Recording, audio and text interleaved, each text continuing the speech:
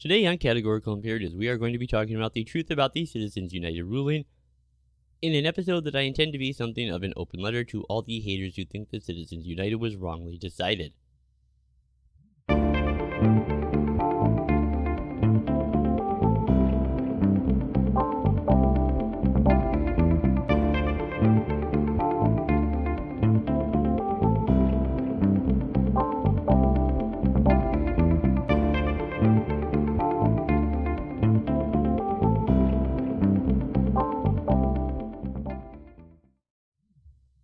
Hey, greetings, welcome back once again to Categorical Imperatives. As always, I am your host, Lockie Liberal, and I do want to thank you all so much for joining me here today. Now, if you are new to the program, I would especially like to welcome you. This is a podcast where we're going to be applying legal theory and moral philosophy to discussions of current events in law, politics, and culture. Now, today we're going to be talking about what everybody tends to get wrong about Citizens United. First, I have a couple quick announcements for you guys. First of all, don't forget, you can find the show in a number of different formats. The video version is available over on YouTube and Odysee. The audio only version is available on all of your favorite podcasting platforms, including Anchor, Spotify, Apple Podcasts, and many more. You can also find a wealth of articles that I write for a number of different organizations on a number of different topics of law and politics available at different sites such as the Libertarian Institute, the 10th Amendment Center, the Mises Institute, and occasionally I do self publish some work over on Substack as well. You can also check out a new website I have up that is still under construction, but what is up works just perfectly well. And so, for example, the links page is up and working. So you can go there and you can find all the places I just named where my work can be found all over the internet. There will be a link to that page down in the video description.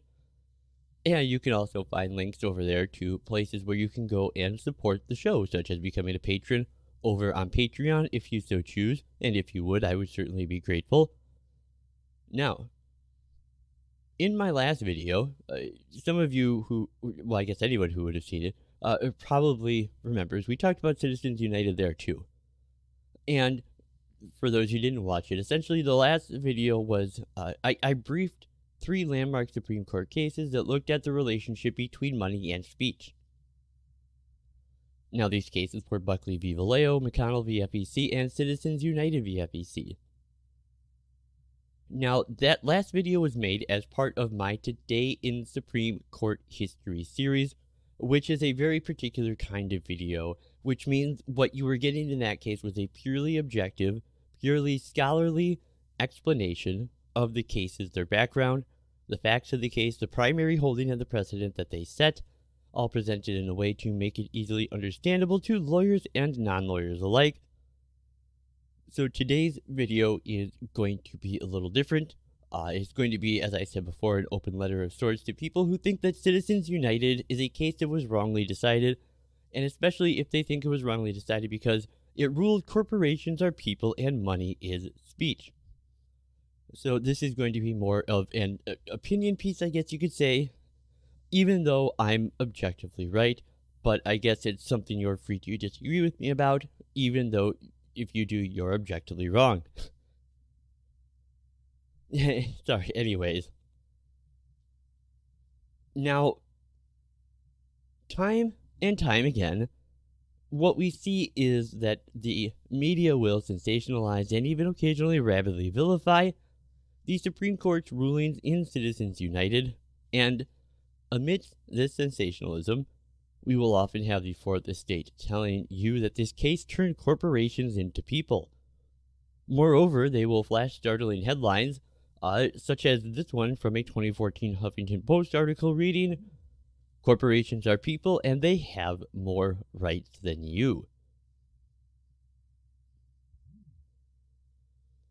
Now, that article uh, made all manner of ridiculous claims about how 2010 was the year and Citizens United was the case, when, for the very first time ever, for no reason whatsoever, the court out of nowhere decided that corporations were people and that is because that decision that has allowed businesses ever since then, uh, such as Hobby Lobby, for example, to trample all over women's rights with their corporate rights by refusing to pay for birth control. Now, I only have one uh, minor disagreement with that, uh, what they have to say about the case, and that is that none of it is true. Other than that, it's a perfectly sound argument, except that none of it is true. Now, first of all, no one is saying that corporations are flesh and blood people. Corporate personhood is a legal doctrine that has existed for hundreds of years in the English common law and can even be found going back further than that with antecedents going back to civil law in the Roman Republic. And that corporations have some legal protections and some rights was not even a fact up for debate in this case. As we talked about last time, and as we will be getting to again later here today, the four dissenting liberal justices in the Citizens United ruling all accepted prima facie the doctrine of corporate personhood.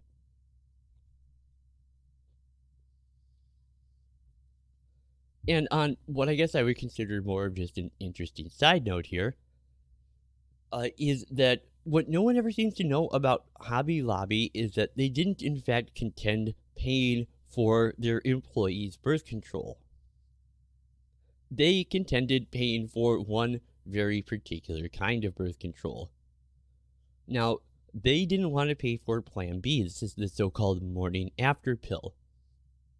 Now, their logic was that they are Christians, that they believe life begins at conception, and therefore, to them, that makes Plan B akin to an abortion.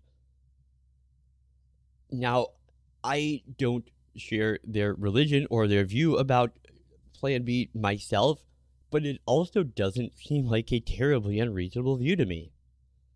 And really the key thing here is is that they never objected to covering forms of birth control like the pill that prevent pregnancy in the first place and which makes up like 95% of all birth control.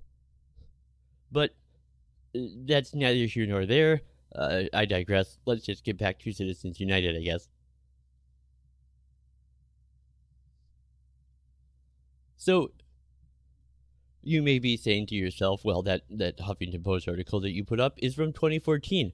That was eight years ago. Surely by now, the people who were complaining about Citizens United back then, who knew nothing about the case because they had never bothered to take the hour it would take to read the court's opinion in the case at some point during the four year time span between when the case was decided in 2010 and when that article was written in 2014. Now, those people have had an additional eight years to find an hour of time to read the court's opinion in the case that they hate and don't understand, and that now their resistance must be an informed one. Except that on the anniversary of the opinion being handed down every single year, like clockwork, we find a plethora of articles, uh, such as an especially ridiculous one that I found just as an example here uh, from a so called journalist named Lisa Graves. And she wrote an article just uh, on January 20th, 2022. 12 years after Citizens United, the Supreme Court right wing revolution continues. Now, that article goes on to make absurd claims about how every time any progressive leftist legislation doesn't get passed into law, it's always because dark money is flowing from corporations into the hands of members of Congress, thanks to Citizens United, which is buying these congressmen's support. She blames Citizens United for somehow being the reason that Democrats can't pass their current unconstitutional so called voting rights legislation, and echoes a common theme that you hear from people uh, who that you have been hearing from people who disagree with Citizens United, who don't understand Citizens United, who have been saying this from the very beginning. That Citizens United is a threat to democracy itself. Now, let's say we look past the absurdity that what these people are saying is we need congressional oversight of Congress so members of Congress can prevent themselves from being bribed. let's pretend that that makes sense and move on from there.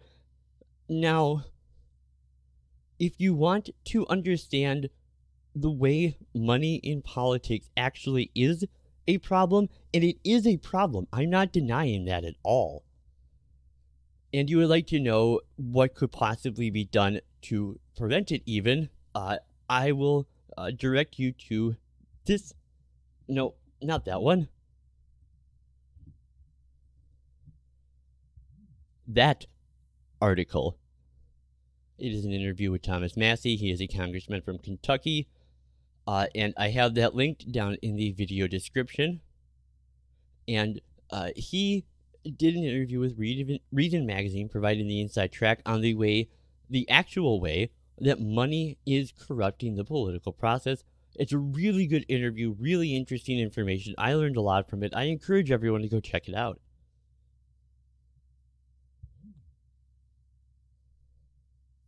And the way people speak about Citizens United as some kind of threat to democracy itself, to me, has always really perfectly encapsulated how correct H.L. Mencken was when he said, Democracy is the theory that the common man know what they want and that they deserve to get it good and hard.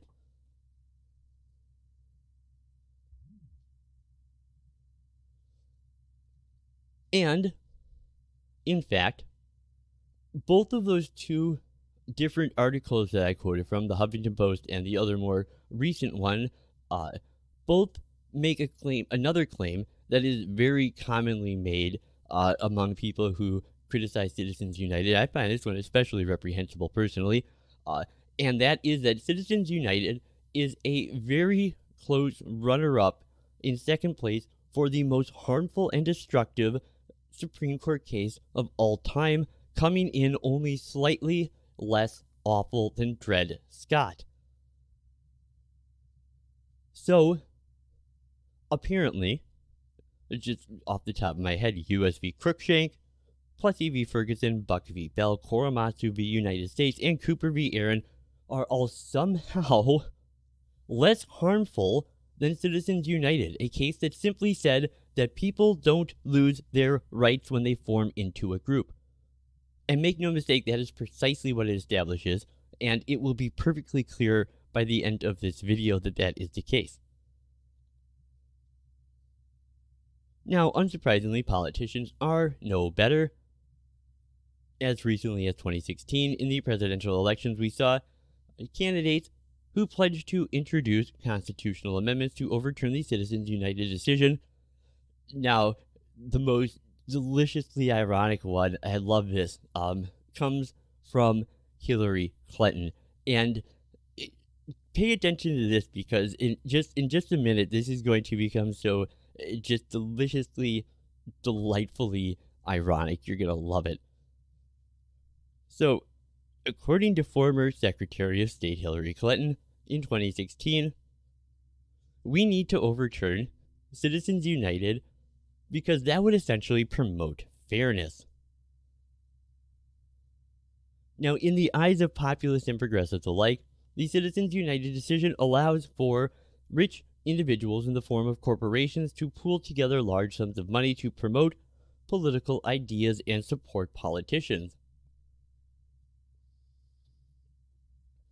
But of course, that assertion begs the following questions. First, is the ruling in Citizens United fair? And second, did the ruling truly turn corporations into people? Now, in Citizens United, the court held that the First Amendment extends protections to associations of individuals and not just individual speakers. Additionally, the First Amendment disallows prohibitions of speech based on the identity of the speaker. Therefore, corporations, as associations of individuals, have freedom of speech rights. Now, in an earlier case, Buckley v. Valeo, the court held that spending money is necessary to disseminate speech.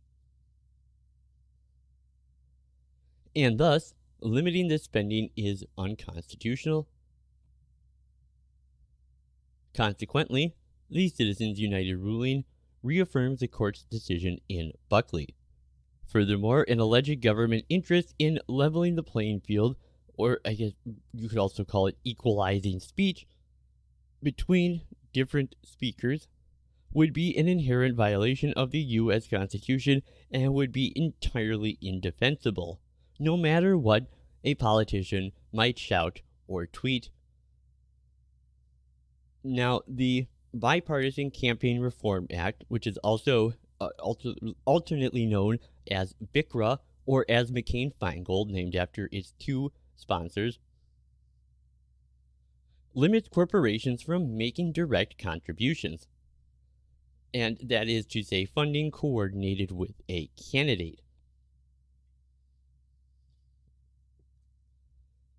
Now, in Citizens United and earlier cases, the court did uphold regulations of direct contributions to candidates and recognized a governmental interest in preventing quid pro quo corruption and the appearance of such corruption. Nevertheless, the court refrained from extending this government interest to independent expenditures. Now, from a different definitional perspective, independent expenditures are funds used to promote a political idea or platform without the consent or coordination of a political candidate.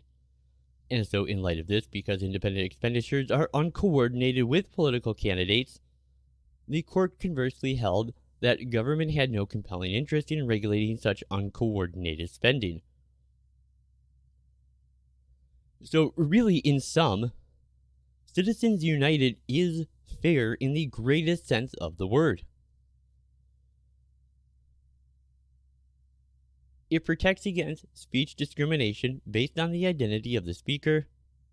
And while the media or politicians may cry that the Citizens United decision does the opposite, think of the doomsday consequences if the government were allowed to prohibit political speech based on the identity of the speaker. Now, that, to me, seems like a true threat to what people commonly call democracy. Now, after reading the opinion in Citizens United, it logically follows that corporations are not people. And, more importantly, the United States Supreme Court did not birth the notion that corporations are people. You have to get beneath the fear mongering headlines and distracting rhetoric of classism to realize that a corporation is nothing more than a mere collection or association of people. That's it. So, while the truth is, corporations are not people, it is true that people are corporations. And it is for that reason that restricting the speech of corporations is a fundamental violation of not one but two separate First Amendment protected rights freedom of speech and freedom of association. So let's quickly recap the basic facts of Citizens United. What was the case all about? Well, the organization Citizens United challenged a federal election commission violation they were hit with you may be asking what FEC regulation did they violate? Did they, I don't know, bribe a politician? Did they give donations without disclosing them? Were they spending money that originally came from foreign governments? No. Citizens United got in trouble for showing a movie. Now, remember when I said it was going to get deliciously ironic? This is where it gets deliciously ironic they got in trouble for airing a movie called Hillary the Movie. It was a 2008 political documentary produced by the nonprofit organization Citizens United. It was a film that was simply critical of Hillary Clinton. Now, the movie was offered as an on demand video on cable before the 2008 Democratic primaries and therefore it fell under uh, what is considered to be electioneering.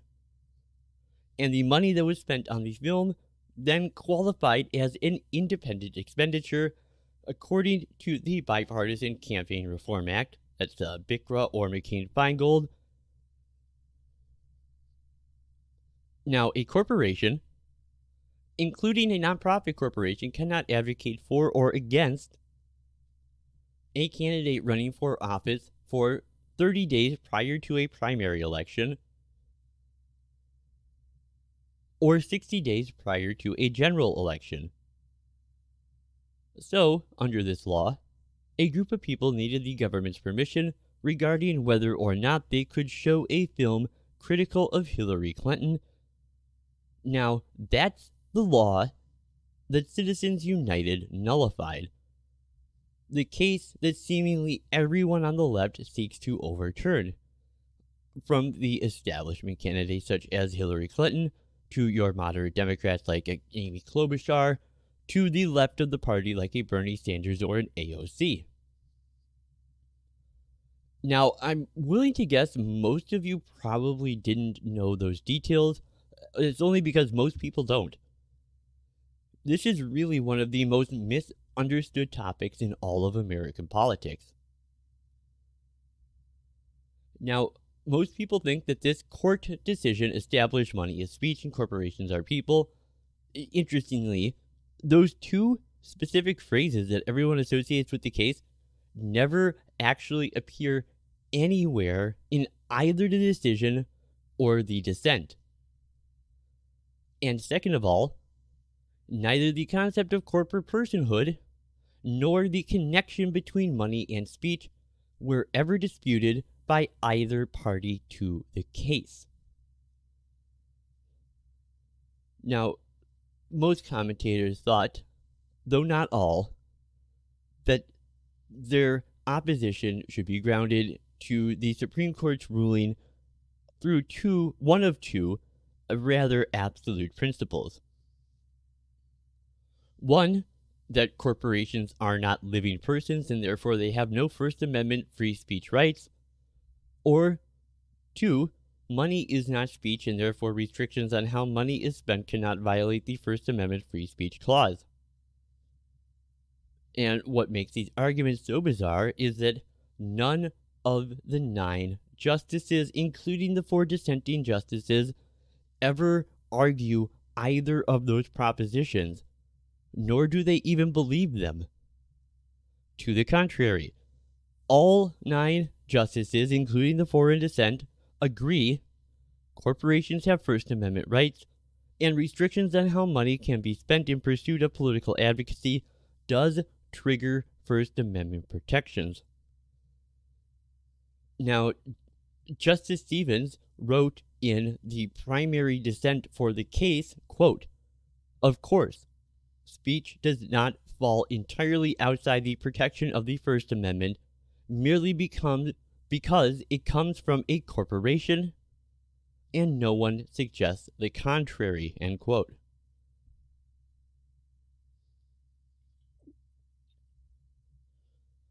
Justice Stevens also wrote that even though the expenditures at issue were subject to First Amendment scrutiny, these restrictions on these expenditures were justified by compelling state interest.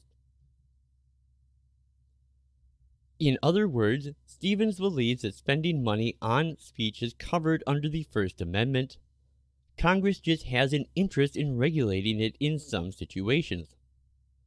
So, you see, the legal concept of corporate personhood, as I've mentioned already, goes back hundreds of years. And it's important to keep in mind a corporation, legally speaking, is just a group of people. Yes, it includes large multinational for profit corporations like Walmart, ExxonMobil, but it also includes labor unions, nonprofit corporations, uh, such as, for example, the ACLU, which probably has something to do with the fact that the ACLU actually endorsed the decision in Citizens United and wrote a great amicus brief uh, in support of the case. And it applies to small, uh, often usually local, uh, cell phone limited liability corporations.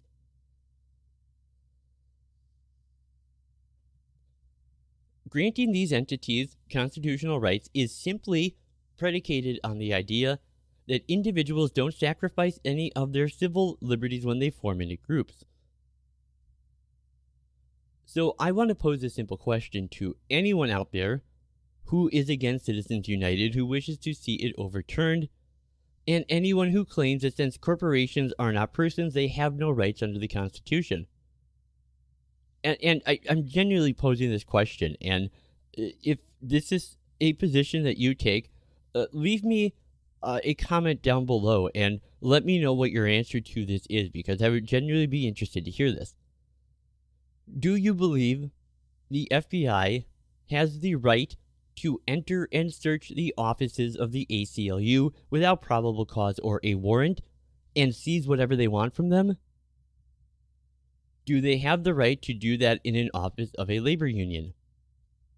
How about a local business on the corner in your town which just happened to be incorporated? The only thing stopping them from doing that is the Fourth Amendment. If you believe that corporations have no constitutional rights because they are not human beings, what possible objections could you voice to Congress empowering the FBI to do all of those things? Can the FBI simply seize these people's property, their buildings, their cars, their bank accounts, of all of these entities without due process or just compensation? If you believe that corporations have no constitutional rights, what possible constitutional objection could you have to such laws? And now let's move to the point of money and speech. This is just the idea that engaging in speech in any meaningful way that is more sophisticated than standing on a street corner yelling costs money. Therefore, regulations on the money someone can spend on speaking is regulating speech by proxy. If you think about it, printing a newspaper costs money. Hosting an online news show costs money. Placing a television ad costs money. Running this YouTube channel you're watching this video on costs money. And so on and so forth. Now, regulating the amount of money that someone can spend, where they can spend that money, where they can get it, uh, how they can spend it, etc., all undoubtedly can jeopardize the speech itself. And this is why all nine justices on the court at the time agreed. And in fact, this goes back to 1976 in the Supreme Court case of Buckley v. Valeo, which we also covered last time. Here, the majority ruled that limitations on expenditures are necessarily at odds with the First Amendment because restrictions on spending for political communication necessarily reduces the quantity of that expression. Now, the funny thing is, occasionally Citizens United critics will even acknowledge this.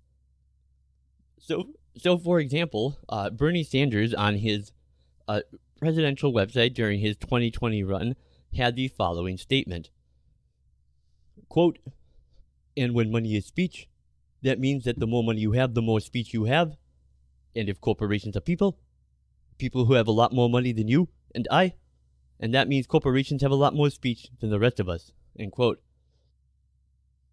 I apologize for that awful Bernie Sanders impression. I didn't mean to do that. It just came out.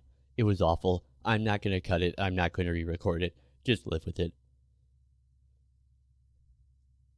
So, they think it's unfair that some candidates can purchase more advertisements and others and that this somehow needs to be corrected by overturning Citizens United.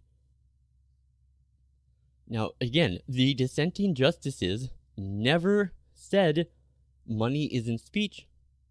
What they did argue is that Congress has a compelling state interest in regulating it on the grounds of preventing corruption. So, does this money in the system cause corruption? Now, you may not like this answer, but to be perfectly honest, that's not relevant to the question at hand. Now, critics emphasize the court's ruling will produce a very bad outcome, uh, primarily that it will exacerbate the problem of corporate influence on our republic. Even if that's true, it's not really relevant. Either the First Amendment allows speech restrictions or it doesn't. In general, a law that violates the Constitution cannot be upheld because it produces good outcomes, or because its invalidation would produce bad outcomes. Now, many think that America is too far gone in terms of uh, corporate control of politics. Now, personally, I think that money in politics is an overrated problem but I will admit, it is a problem. It certainly is. But that's not really relevant to the speech question. Now, it's also fair to say that we have racism in this country. And that's a problem too. And allowing the KKK to hold one of their stupid fucking rallies will no doubt contribute to that problem. That doesn't mean they don't have the right to hold it, and invoking a state interest really isn't persuasive either, because from that point, virtually anything can be justified by that rationale. And that argument has been used, uh, including in this country, many times to curtail civil liberties in other contexts. So when you talk about limiting independent expenditures, you're actually talking about limiting your ability to engage in political advocacy. Now, Citizens United simply doesn't stand for what most people will say that it does. Now, their erroneous lamentations are well characterized, I believe, by the uh, fairly infamous statement that President Obama made during his 2010 State of the Union address. With all due deference to separation of powers, last week the Supreme Court reversed a century of law that I believe will open the floodgates for special interests, including foreign corporations, to spend without limit in our elections.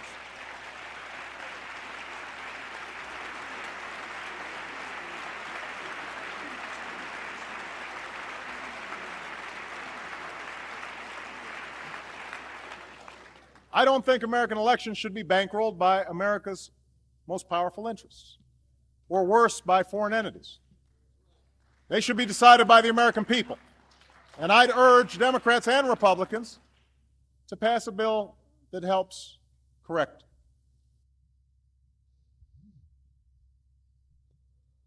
Now, in that one sentence, the former law professor made four errors that are all too common from Citizens United critics. It seems that even after 12 years, critics of the Supreme Court just cannot get things right. Now, what mistakes did he make? First of all, Citizens United did not reverse a century of law. What President Obama was referring to there was the Tillman Act of 1907, which banned corporate donations to campaigns such donations are still banned. Instead, the decision overturned a 1990 precedent that upheld a ban on independent spending by corporations. This 1990 ruling, uh, ruling was the only time that the court allowed a restriction on political speech for a reason other than the need to prevent corruption. Second, his talk about floodgates really depends on how you define the term. Now, in modern times, nearly every election cycle has seen an increase in political spending. However, there is no indication that there is a significant change in corporate spending, and the rules affecting independent spending by wealthy individuals who are spending more have not changed at all. Indeed, much of the corporate influence peddling in Washington that has reformers concerned has nothing to do with campaign spending. Most corporations spend far, far more money lobbying lawmakers already in Washington than they do in political spending to try and help choose which politicians will be going to Washington. And this is the problem that Citizens United detractors don't argue the case on the merits as much as they use it as a focal point for their personal hatred of corporations. Now, I have no problem with people hating corporations. What I do have a problem with is people who believe that their hatred justifies either willful ignorance of the law or intentional misrepresentation of the law in the name of fighting a personal crusade. People who see their cause as so righteous and just that our constitutionally protected individual liberties and even truth itself are seen as expendable casualties in their anti corporate crusade because Citizens United is not just about restricting all the big multinational corporations that everyone loves to hate. And fourth, while independent spending on elections now has few limits, candidates and parties aren't so lucky, and even in as recently as 2014 in the decision of McCutcheon v. FEC, it struck down aggregate, not per candidate, contribution limits. Now, this only affected about 600 donors during that election cycle. The amount an individual can give to a single campaign remains untouched. And so, if you're concerned about the money spent on the problem, it isn't with big corporate players it isn't really Exxon, Halliburton, and all of these evil companies that are suddenly dominating the conversation through electioneering expenditures. Why? They spend little on political ads because they don't want to alienate half of their customer base. Now, on the other hand, smaller players now have the ability to speak freely. Citizens United allows groups such as the National Federation of Independent Businesses, the Sierra Club, the American Civil Liberties Union, and the National Rifle Association to speak freely. And so, even if we accept their leveling the playing field as a proper basis for regulation, the freeing of associated speech already achieves that goal.